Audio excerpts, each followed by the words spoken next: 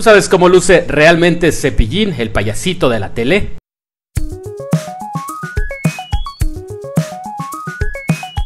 Pues Cepillín es uno de los eh, payasos más famosos a nivel internacional, el payasito consentido de los mexicanos. Sus canciones han sido muy populares por décadas. No ha necesitado estar en la televisión para seguir siendo popular. Pero ¿cómo luce realmente? Bueno, vamos a ver esta imagen de Ricardo González de Ricardo González Gutiérrez, conocido artísticamente como Cepillín.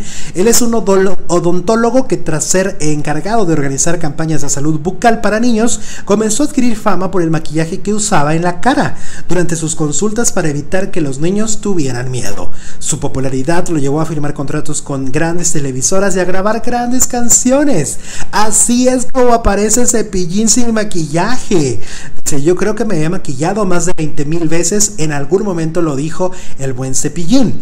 Además de mostrar su rostro en el video, Cepillín ha compartido en su cuenta de Instagram fotografías en las que muestra cómo se ve sin maquillaje.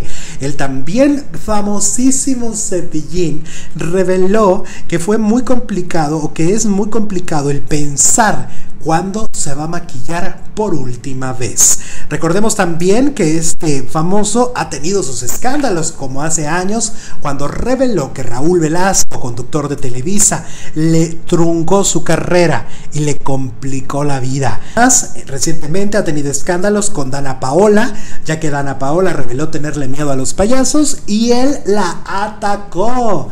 Eduardo Videgaray también tuvo problemas con los hijos de Cepillín que hasta amenazaron con golpearlo. Súper fuerte, la verdad. La historia de Cepillín está escrita con letras de oro en el mundo del entretenimiento y así es como luce sin maquillaje.